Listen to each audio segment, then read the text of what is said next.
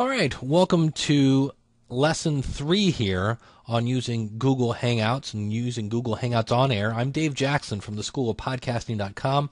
And the idea here is some people might want to use this and then turn it into an audio podcast. So, here in this last part three of this series, I'm going to show you now that the Hangout is over, how do you take that video file and extract the audio. And I'm actually showing you how to do this using Audacity. It's a free audio program. Uh, there are many other ways to do this via QuickTime, things like that. But I chose Audacity because I know a lot of podcasters use it because it's a free program. So here I am showing you how to go into YouTube now that the Hangout is over, take your video, and extract the audio. If you need more help, come over and visit me at schoolofpodcasting.com. And uh, I'm gonna I've logged into my YouTube account, and I'm gonna go to my video manager here. There are different options here, so you can see here if I click this drop down list, um, download the MP3 MP4. This is downloading the video, the whole thing. So when I click on that, it says where do you want to save it. I'm going to save it on my junky old desktop. All right, and it is downloading the file. You can see here that an hour long MP4 video is 157 megs. And if I wanted to, I could go ahead and open that, which in this case will probably open up an iTunes. No video. I got it. I'm on a PC. How are you? And there's the whole thing. So that's exciting. All right, my first attempt here to import this into Audacity. Didn't think this would work because it's video, Audacity is audio. It's saying I need to use the FFmpeg import, go to Preferences, Libraries to download that. So I say OK. So it's saying, hey, you can't do that. So I'm going to go to my Preferences. I'm going to go to Libraries and I'm going to download it. And okay, for the video, you want to get this uh, down here, the F, FFmpeg. Up here is the lame. So if I right click on this, I can save this link.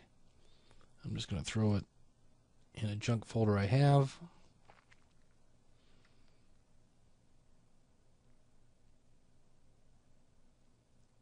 uh, because that's all right. It's already being scanned for viruses, so that's good. I'm going to open that file. I'm going to run it. And when it installs it here, I accept it. Notice it's going here to C. This is on my computer. Program Files 86, FFmpeg for Audacity. So it's making a new folder. When I click on Install, that's fine. Now when I go to Audacity, if I go to Edit, Preferences, and locate this, I have to go back. Has automatically detected. Do you want to locate them manually? Uh, no, not if you found them automatically. I think we're good to go. So I can click on OK. Now if I go to File, Import, even though it's video, I'm going to say Audio. And there you go. It's now importing that video. There we go. How are you?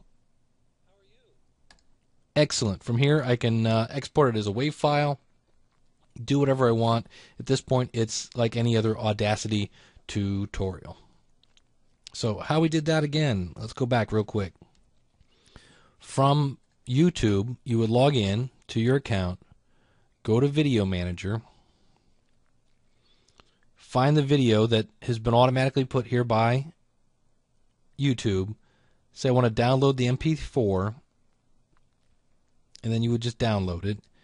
Then go into Audacity and go to Edit, Preferences, and under Libraries, tell it that you want to download the F whatever this FFmpeg library is, and that'll take you here. Click on this page, scroll down. This is not it. This is for the audio. You want this one for the video, and obviously, if you're on a Mac, you'll need these down here. From there, Audacity should find it automatically, and you just go to File and import the video that you downloaded, and from there, it's like any other audio podcast you